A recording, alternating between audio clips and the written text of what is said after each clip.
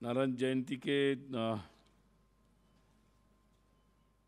इस विशेष उत्सव के निमित्त आप सबको बहुत बहुत शुभकामना। और जितना वर्णन हुआ तो मैं ये मानता हूँ कि भगवान नारद की जो बुद्धि और जो है वो केवल पत्रकारों को नहीं सबको चाहिए ताकि सुनने और पढ़ने वाले लोग भी तो वैसे चाहिए ना। नहीं तो फिर एक तरफा होने से वो का, का उपयोगी नहीं होगा।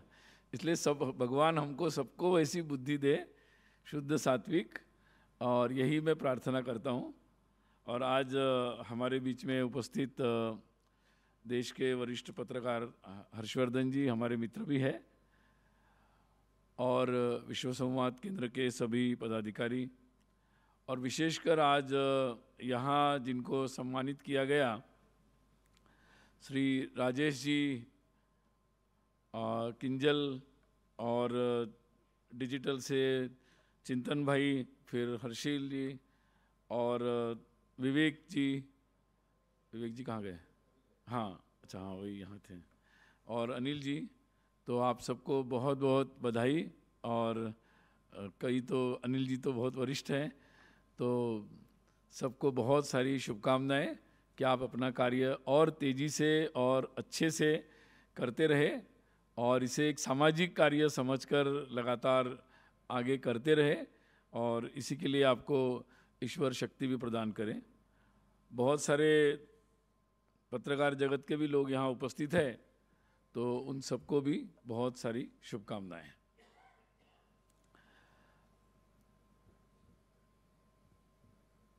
वैसे हम सबके जीवन का मीडिया जो है एक हिस्सा बना हुआ है। स्वरूप भले ही बदल रहा है, प्रिंट से इलेक्ट्रॉनिक इलेक्ट्रॉनिक से डिजिटल डिजिटल, रेडियो तो पहले ही था, अब रेडियो, जॉकी वगैरह नए नाम भी आ गए, एफएम भी आ गया, और अब सोशल मीडिया सोशल मीडिया में भी बहुत सारी चीज़ें आ गई है, और देखते देखते जो मीडिया के हम दो साइड होते थे, एक पत्रकार की साइड और एक हमारी साइड जो हम लोग देखते थे, अब मुझे लगता है सोशल मीडिया के ज़माने में दो साइड नहीं रही है। मतलब सारा मिल गया है, सारे ही लोग पत्रकार बन गए हैं और अपने ओपिनियन देते रहते हैं। और, जितनी ज़िम्मेदारी से कम से कम कोई नीति नियम तो बने हुए हैं, कानून भी बना हुआ है, जो भी मीडिया हाउस है या जो भी विधिवत पत्रकार बनता है उसके लिए, परंतु जब ये नव पत्रकार जो बने हुए हैं सोशल मीडिया में, उनके लिए आज तक तो ज़्यादा कोई कानून वगैरह है नहीं। वो अपनी सामाजिक या मोरल रिस्पॉन्सिबिलिटी हमारी जो नैतिक ज़िम्मेदारी है उसी के आधार पर ये अपेक्षा की गई है। और मुझे लगता है कि अ, उसमें भी एक विविध प्रकार का स्वरूप ध्यान में आ रहा है। और इसलिए कुल मिलाकर ये केवल अब पत्रकारों तक का विषय नहीं रहा क्योंकि पत्रकार क्या लिखते हैं उसके एक्शन रिएक्शन में बाकी लोग भी लिखते रहते हैं। और वहाँ क्या लिखा जा रहा है? आजकल सभी मीडिया हाउस में उसको रोज़ देखते हैं। मतलब सुबह की मीटिंग होती है या जो भी पत्रकार है वो देखते रहते हैं, क्या ट्रेंड हो गया, क्या ट्विटर में आ गया, किसने क्या लिख दिया। और उसके आधार पर अपनी न्यूज़ को बनाते हैं डेवलप करते हैं। उसके आधार पर सुबह क्या ट्रेंडिंग हो रहा है, उस पर टीवी में डिबेट कराते हैं। आर्टिकल लिखने वाले उन्हीं विषयों को लेकर उस पर आर्टिकल लिखना शुरू कर देते हैं। तो ये एक बहुआयामी हो गया है। और इसलिए इसकी, इस बात को केवल पत्रकारों को समझने से बात अभी बनेगी नहीं। तो मुझे लगता है कि इसका दायरा अब एक पूरा समाज का दायरा इसका हो गया है। और भारत के अगर आंकड़े देखेंगे तो मुझे लगता है कि हमने बहुत बड़े बड़े देशों को पीछे छोड़ दिया है। इंटरनेट का सबसे ज़्यादा उपयोग हमारे देश में ही हो रहा है। फिर चीन में थोड़ा हो रहा है हमारे बराबरी का, लेकिन वहाँ वो मुक्तता नहीं है। फिर हमारे यहाँ अगर कोई भी जितने भी सोशल मीडिया हैंडल्स हैं, उन सब में अगर मैन आवर्स या ह्यूमन आवर्स को हम गिनेंगे तो वो भी बहुत ज़्यादा है।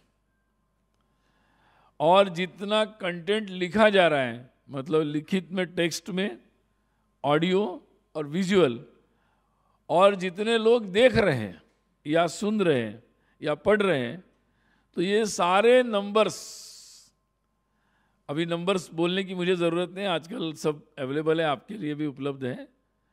तो वो नंबर्स में हम बहुत मतलब हम केवल चाँद पर पहुँचे वगैरह नहीं, हम इसमें भी बहुत आगे निकल गए हैं।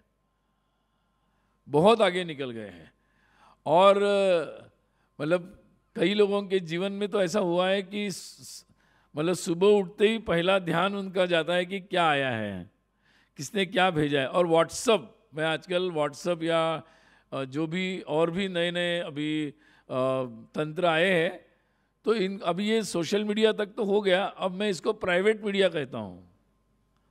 मैं, मुझे सोच रहा था मैं इसको नाम क्या दूँ मैं, मुझे लगा ये प्राइवेट मीडिया है।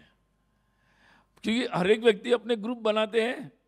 और अपना प्राइवेट मीडिया उसमें चलता है, अपने मतलब प्राइवेटली उसमें अपने, हम अपने ग्रुप में क्या क्या समाचार है वो भेजते हैं और उसको बोलते हैं और वो ग्रुप बाद में इतने बड़े हो जाते हैं कि वो प्राइवेट वैसे रहता नहीं, फिर भी उसका प्राइवेट स्वरूप रहता है।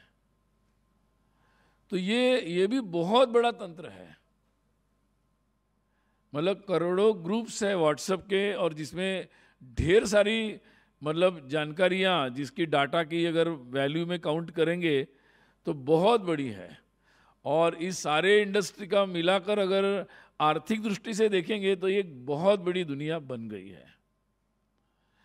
और जर्नलिज्म केवल न्यूज़ तक सीमित नहीं रहा, अब उसका भी विस्तार हो चुका है। बहुत सारी क्रिएटिविटी उसमें लगातार आती जा रही है। और न्यूज़ जो है हर जगह से न्यूज़ लेना और हर जगह के लिए, केवल पॉलिटिकल न्यूज़ तक वो सीमित नहीं है। तो एक बहुत बड़ा तंत्र देश का बना है और जो हमारे सोच को बनाता है। और हमारे सोच को बनाते बनाते केवल उसमें भी प्रामाणिकता से वो सोच नहीं बनाई जा रही है। उसमें भी बहुत बड़े बड़े प्लेयर्स आ चुके हैं बड़ा बड़ा तंत्र आ चुका है, जो हमारी सोच को, हमारी सोच को नियंत्रित करने के प्रयास भी कर रहे हैं। बड़े बड़े लोकतंत्र पर भी प्रभाव डालने के प्रयास भी किए जा रहे हैं। पिछले चुनाव में अमेरिका में, अमेरिका, रशिया के झगड़े में, हमने देखा कि किस तरीके से वहाँ के चुनाव को प्रभावित करने की बात कही गई। हमारे देश में भी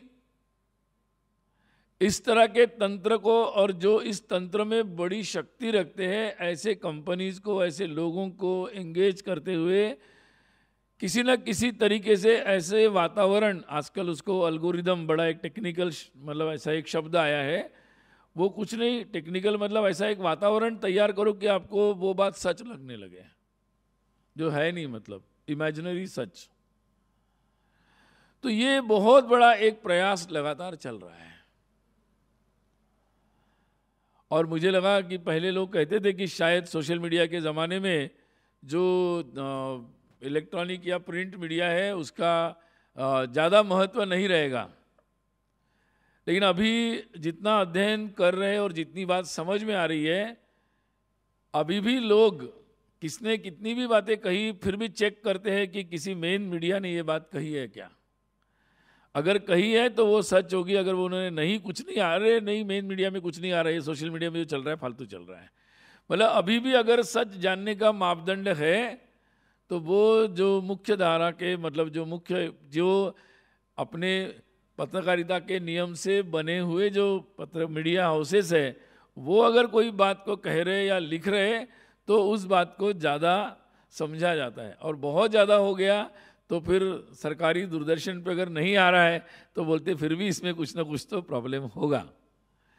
तो ये जो एक क्रेडिबिलिटी का एक हायर की जिसको बोलेंगे, एक स्तर जो बन रहा है तो मुझे लगता है कि इस वातावरण में पहले जैसा ही जो आ, जो सभी प्रकार के मीडिया के जो विधिवत पत्रकारिता के लोग हैं, चाहे वो डिजिटल के हो रेडियो के हो टीवी के हो इलेक्ट्रॉनिक उनकी ज़िम्मेदारी और ज़्यादा बढ़ जाती है। क्योंकि जहाँ अब आप अकेले नहीं कह रहे, आपके दोस्त मित्र दस बीस मीडिया हाउस वाले नहीं कह रहे, अब करोड़ों लोग जब कह रहे उसमें सही बात को सही दबाव में ना आते हुए सही बात को देना और अगर गलत बात है तो उसको नहीं देना। और बड़ी हिम्मत के साथ ये काम करना, ये मुझे लगता है आज के समय में बहुत ज़्यादा आवश्यक है, ताकि कहीं से कितनी भी झूठी खबरें या भ्रमित करने वाली बातें गढ़ी जाए और बनाई जाए उसमें भी एक सही बात जानने का एक स्थान बना रहे और लोग उसको जान सकें। अभी पूरे इस तरीके के इसमें ये बात भी हम लोगों को समझना बहुत आवश्यक है कि नई प्रकार की एक व्यवस्था भी बनी है। मतलब कई सारे अभी आज दुनिया में ये बात समझ में आ रही है कि किसी बात को अगर आपको आगे पहुंचाना है तो उस पहुँचाने के लिए एक पूरा सर्कल बनाया जाता है। मतलब हमारे देश में कुछ दिनों में हमने अनुभव किया पहले। कि आपने एक बात कह दी? आपने एक रिपोर्ट बना दी। एक रिपोर्ट पर किसी ने एक न्यूज़ बना दी, किसी न्यूज़ पर किसी ने आर्टिकल लिख दिया, फिर उस आर्टिकल पर किसी ने टीवी शो बना दिया, फिर किसी ने उस पर प्रोग्राम कर दिया, और फिर किसी संगठन ने, दो संस्थाओं ने उस पर आवाज़ उठा दी, और ऐसा लगने लगा कि कोई बड़ी सच बात बोली गई, कही गई और इस बात को तो ये एक जो पूरा सिस्टम काम करता है, इससे झूठ को या जो बात अस्तित्व में नहीं है, उसको समाज मस्तिष्क पर स्थापित करने का प्रयास भी किया जा रहा है।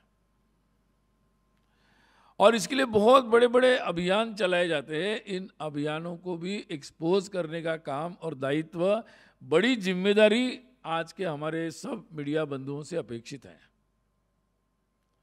क्योंकि बड़े बड़े अभियान आते हैं। कभी लगता है कि पूरे देश में ऐसा लगता है कि जो पिच में आया था ना, कि वो मुर्गियों को कोई बुखार आ जाता है। क्या नाम था उसका कुछ वर्ड बर्ड फ्लू फिर स्वाइन फ्लू बर्ड फ्लू और फिर कई सारे लोगों को मार दिया गया क्या क्या किया गया मतलब? और फिर पता नहीं चलता वो कब गायब हो जाता है। तो कभी बताया कि भाई कोलेस्ट्रॉल जो है, वो आप नहीं लेंगे आप आप घी लेंगे तो आपको कोलेस्ट्रॉल बढ़ जाएगा आपका। अब फिर दूसरा चलाया जा रहा है कि आप हमारा घी लेंगे तो आपका कोलेस्ट्रॉल कम हो जाएगा। मतलब ये जो सारे तंत्र चल रहे ये पर्यावरण के बारे में हो रहा है। कभी बताया कि पूरी दुनिया जैसे बस डूबने वाली है बस समुद्र का लेयर बढ़ेगा, गुजरात के पास भी चार फीट बढ़ जाएगा और पता नहीं क्या हो जाएगा। मतलब ये बातों को जो एग्जैगरेट करके, बताने के और उसके आधार पर बहुत सारी दुनिया में ऐसी बातें चलती रहती है। जब भारत को आगे बढ़ना है तो ज़िम्मेदारी के साथ सच को समझना, सत्य के लिए प्रयास करना, सत्य के लिए निरंतर प्रयास करना, किसी भी हद तक जाना और उन बातों को, उस सच्चाई को लोगों के सामने लाना। मुझे लगता है ये एक सामाजिक कर्तव्य भी है और इसलिए इस बात को मतलब जितने भी हमारे आज लोग हैं, उन्होंने उस ज़िम्मेदारी से उसको काम किया है। मुझे लगता है इसके लिए वो अभिनंदनीय कार्य है। आज ऐसे जीवन के हर क्षेत्र में, इसलिए ऐसे समय में जो आज उल्लेख हो रहा था कि भगवान देवश्री श्री नारद जी का तो ये आज के समय में उस नैतिकता की बहुत ज़्यादा आवश्यकता है। मतलब कोई भी काम, अगर कोई भी काम उस नैतिकता से, नैतिक भाव से नहीं होता है तो उसका उसका प्रभाव जो है वो गलत दिशा में जाना ही तय है। और इसलिए एक ज़माने में ये भी बात चली कि भाई अगर आपको मॉडर्न होना है तो आपको ये, आप ये वैल्यूज़ वगैरह जो है, आपको आगे बढ़ना है, आपको प्रगति करनी है अपने जीवन में, सफल होना है तो ये पुराने जो संस्कार के वैल्यूज़ वगैरह होते हैं, और ये नहीं करना, उसको ये नहीं करना, ये सब छोड़ना पड़ेगा, तभी आप आगे जा सकते हैं। ऐसी कुछ वैल्यूज़ भी दुनिया में प्रसारित की गई, स्थापित करने के प्रयास किए गए और कई लोग उस रास्ते पर चले भी गए जिसका परिणाम हमारे जीवन के हर क्षेत्र में कई लोग ऐसा करते हुए हमें दिखते हैं, बताते हुए भी दिखते हैं। और इसलिए ज़्यादा नैतिकता, पाप पुण्य या ज़्यादा सही गलत का ज़्यादा दिमाग रखोगे तो फिर आगे नहीं बढ़ पाओगे। ऐसे बहुमूल्य वचन भी बताने वाले और समझाने वाले हर प्रकार के क्षेत्र में लोग भी तैयार हुए हैं। ये पूरे दुनिया में, खासकर हमारे जो विकसित विकसित कहते हैं, उन देशों से ये आवाज़ें बहुत सारी आई। और उन्होंने जीवन के हर क्षेत्र को धर्म से दूर करने का प्रयास किया। और इसीलिए फिर जहाँ धर्म की बात आएगी, जहाँ जीवन मूल्य की बात आएगी, उस बात को हँसी में उड़ा देना, उस बात का मज़ाक बढ़ा देना, ये बातें भी बहुत चली। लेकिन होता है ना कि काल जो होता है, वो अपना समय के साथ बदलता भी है। आज दुनिया में इन मूल्यों के साथ समझौता करने के कारण कई देश शायद बहुत आर्थिक दृष्टि से समृद्ध तो हुए, लेकिन उनके सामने इन मूल्यों के अभाव में बहुत सारे संकट उनके सामने भी आए हैं और उन्होंने दुनिया के सामने खड़े भी कर दिए। ये पर्यावरण भी उसमें से एक नया उत्पन्न संकट उसी का परिणाम है।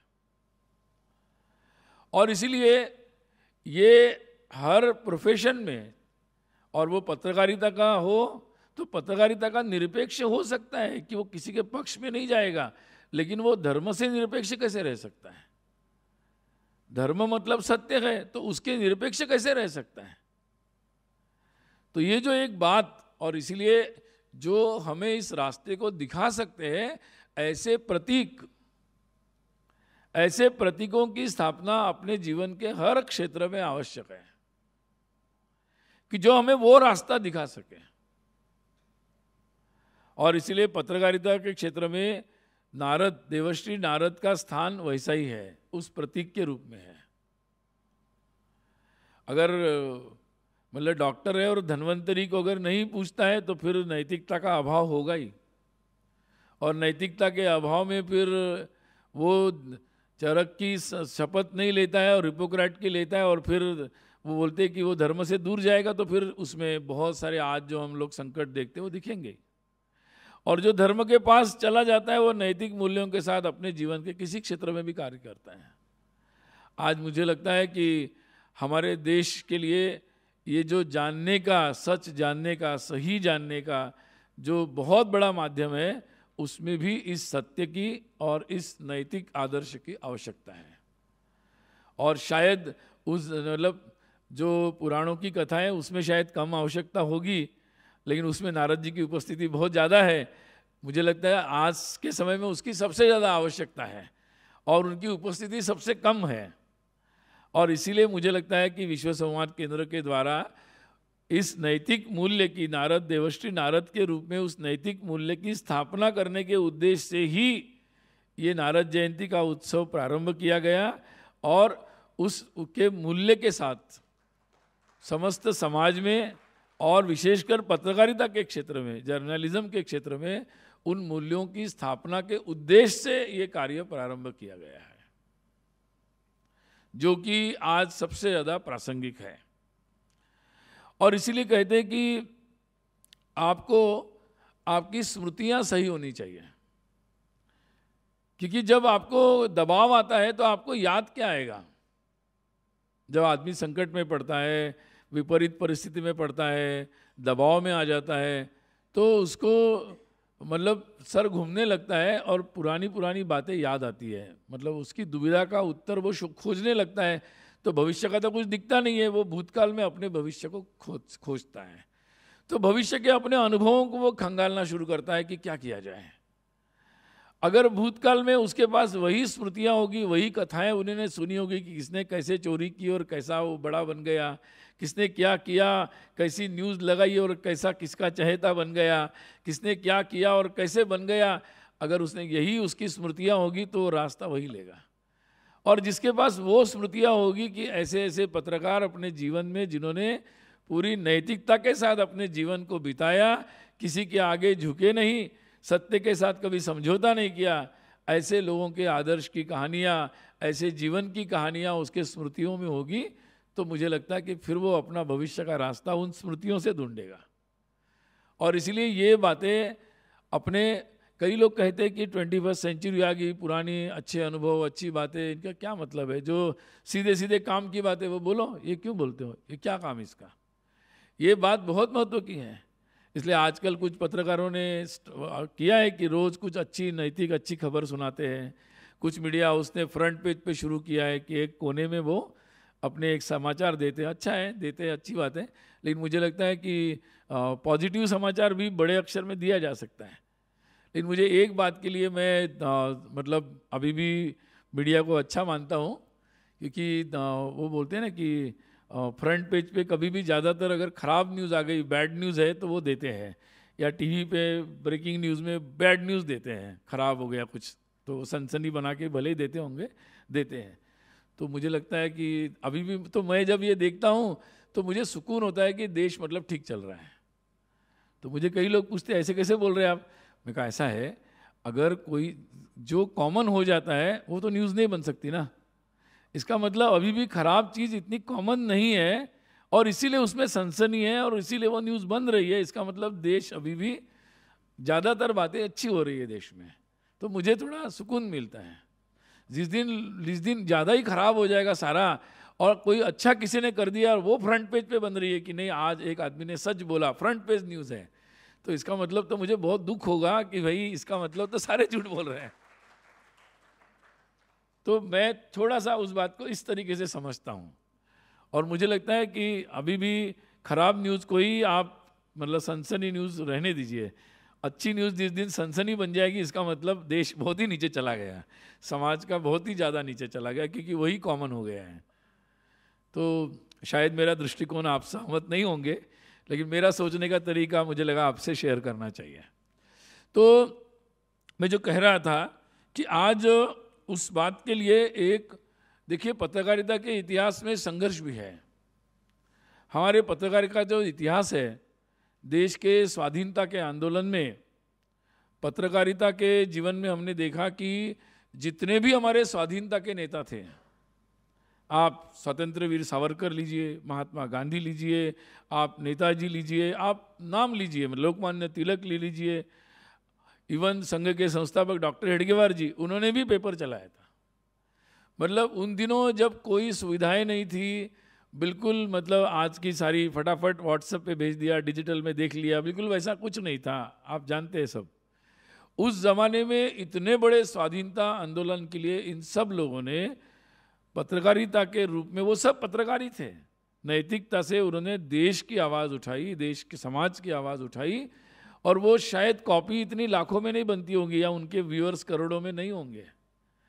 लेकिन उसकी आवाज़ में इतना दम था कि एक आदमी पेपर पढ़ता था, समाचार वो हज़ारों लोगों तक वो समाचार पहुंचाता था। इतना दम था उसमें, इतनी नैतिक बल था और इतनी सत्यता थी, इतनी देश प्रेम था मतलब सारे सद्गुणों की ठोस बात उसमें थी। और उस कारण से एक, जो पेपर शायद लोकमान्य तिलक जी का केसरी छपता होगा 2000 5000 उस समय की क्षमता के अनुसार, लेकिन उसकी आवाज़ पूरे देश में गूंजती थी कि स्वाधीनता मेरा जन्म सिद्ध अधिकार है। तो ये जो ताकत अपने स्वाधीनता आंदोलन में पत्रकारिता ने दिखाई हम लोग देख सकते हैं अपने देश में जब कटोकटी आपातकाल लगा तो सारे मीडिया पर भी बहुत सारे बंधन आए थे। तो कुछ पत्रकार ऐसे भी थे कि जिन्होंने पूरी तरह सरेंडर कर दिया। ब्रिटिश ज़माने में भी थे कुछ पेपर जिन्होंने बस वो वही, उन्हीं की बात बोलते थे, साहब की बात। ये पुरानी प्रवृत्ति है। उस समय भी थी जो अंग्रेज़ों के ज़माने में कुछ पेपर थे, देसी थे, लेकिन वो साहब की बात बोलते थे। और बाद में अभी कटोकटी के समय, आपातकाल के समय बहुत सारे लोगों को ये संकट आया, लेकिन उसमें भी पत्रकारों ने अपनी नैतिकता का दिखाया मूल्य। Even Goenka ji, Indian Express, बहुत सारे ऐसे लोग थे जिन्होंने ऐसी पत्रकारिता दिखाई और स्पष्ट रूप से आईना दिखाया कि सरकार कितना गलत कर रही है। अब उनके ऊपर कितना कितना मतलब दबाव था? परंतु उन्होंने आवाज़ उठाई और जिसके कारण हमारे आसपास के देशों में जब ऐसे आपातकाल लगे तो पता नहीं कि वो पच्चीस पच्चीस साल रह गए। हमारे देश में समाज खड़ा हुआ, सब लोग खड़े हुए, उसके कारण 19 महीने से ज़्यादा वो बात चल नहीं पाई और हम फिर से लोकतंत्र में आ गए।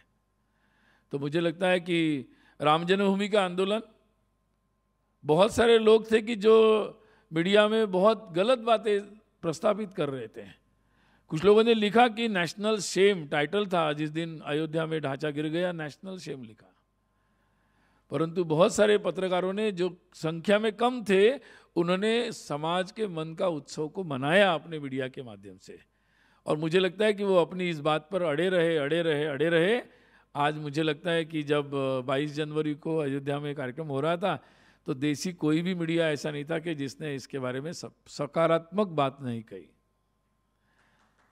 तो अगर हम वो सकारात्मक बात लिखने वाले लोग खड़े हो और उनको देखने वाले, सुनने वाले, समझने वाले समाज भी हो तो मुझे लगता है कि जो सच बात कभी माइनॉरिटी में लगती हो, लेकिन सबसे प्रभावी काल के प्रभाव में वही बनेगी। इसके लिए वैसे लोग पत्रकार भी चाहिए और वैसा समाज भी चाहिए। और मुझे लगता है कि ये बात आज के समय में भी बहुत महत्वपूर्ण है। जब हमारा देश आगे बढ़ रहा है, बहुत सारी बातें सकारात्मक रूप से आ रही है। और, लेकिन ये बात भी हो रही है कि, अभी आजकल चुनाव वगैरह चल रहा है तो बहुत सारे लोग, कुछ भी बोलते हैं, कुछ भी टेक्नोलॉजी का उपयोग करके झूठे मूठे वीडियोस भी चलाते हैं और कई बातें उल्टी सीधी बोलते हैं। अब अब अब ये बात कई पत्रकार हमें बोलते हैं कि अब क्या करें? उन्होंने बोला है, उन्होंने कहा है तो हमें दिखाना पड़ेगा, हमें छापना पड़ेगा। भैया, कोई कुछ भी बोलेगा? तो आप लोगों का भी कोई नैतिक मूल्य होगा ना कि कौन सी बात को कितना महत्व देना है और किस बात को, बिना झूठ बात को, बिना आप तय किए, आप कैसे छाप सकते, कैसे दिखा सकते हैं? तो मुझे लगता है कि ये अगर कोई पत्रकार कहे कि नहीं, किसी ने कहा है, इसलिए हमें दिखाना पड़ेगा। क्योंकि वो झूठ है, सरासर झूठ है, फिर भी बोलना पड़ेगा। तो मुझे लगता है कि वो उनकी स्वयं की विदाउट कमेंट अगर वो करते हैं तो वो भी नैतिकता के अनुकूल नहीं है। और इसलिए इस बात को ध्यान मतलब चुनाव के, अभी चुनाव है, अभी चल जाएगा, बाद में देखेंगे। नहीं, चुनाव सबसे महत्वपूर्ण है, उस समय सबसे ज़्यादा नैतिकता की ज़रूरत है। उस समय सबसे ज़्यादा सत्य दिखाने की ज़रूरत है, ताकि लोगों के चयन में कहीं कोई गलती ना हो जाए। उस समय सबसे ज़्यादा ज़िम्मेदारी है, उस समय आप चुनाव है, इसलिए गैर जिम्मेदार वर्तन नहीं कर सकते और मुझे लगता है कि आने वाले समय में जैसे कोड ऑफ़ कंडक्ट सबके लिए लग रहा है, कहीं ना कहीं मीडिया में भी चुनाव के लिए कोई ना कोई तो आप ज़िम्मेदारी लेनी पड़ेगी आपको कि आप सच क्या दिखा रहे हैं और क्या नहीं दिखा रहे हैं। तो मुझे लगता है इन बातों पर विचार करना आवश्यक है। और देवर्षि नारद का ये स्मरण जो है, हमें उन बातों को स्मरण दिलाता है उनके जीवन की सबसे महत्वपूर्ण बात है और जो मुझे लगता है कि कहना ज़रूरी है, उनके जीवन का सबसे महत्वपूर्ण बात था कि ग्राउंड रिपोर्टिंग मतलब संपर्क खुद करना, खुद जाना, हर जगह भ्रमण करना, कोई भी चीज़ को स्वयं प्रत्यक्ष जाकर देखना, समझना, उसके बाद रिपोर्ट करना है। तो आजकल तो बहुत सारे टेक्निक है मतलब यहाँ से फ़ोटो आ जाता है, लोग ट्विटर में ही अपनी बात बता देते हैं और फिर वही चलता रहता है। तो मुझे लगता है कि आज के समय में भी वो प्रत्यक्ष संपर्क ग्राउंड रिपोर्टिंग और मेहनत, परिश्रम, इसका कोई भी तोड़ या पर्याय नहीं होना चाहिए। और जो भी सत्य होगा, उसके आधार पर ही विश्लेषकों को विश्लेषण करना चाहिए।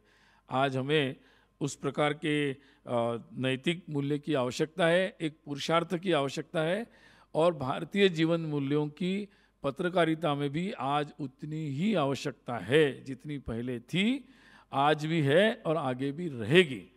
और इसलिए उन मूल्यों के साथ कोई समझौता नहीं की जा सकती। पत्रकारिता निरपेक्ष है, लेकिन वो धर्म और राष्ट्र से निरपेक्ष नहीं हो सकती। उसमें राष्ट्र प्रेम समाज के प्रति आत्मीयता, इन मूल्यों की आवश्यकता आज पत्रकारिता में भी उतनी है जैसी कि जीवन के किसी और क्षेत्र में है। इन बातों का मुझे लगता है कि बहुत महत्व है। और आज हमने जिन लोगों का आज सम्मान किया उन लोगों ने अपने जीवन में अभी तक इन्हीं बातों का आग्रह रखा है। आगे भी वो इन्हीं बातों के साथ आगे बढ़ेंगे और अपने साथियों को भी इसके लिए प्रेरित करेंगे। यही ईश्वर से प्रार्थना। नमस्ते।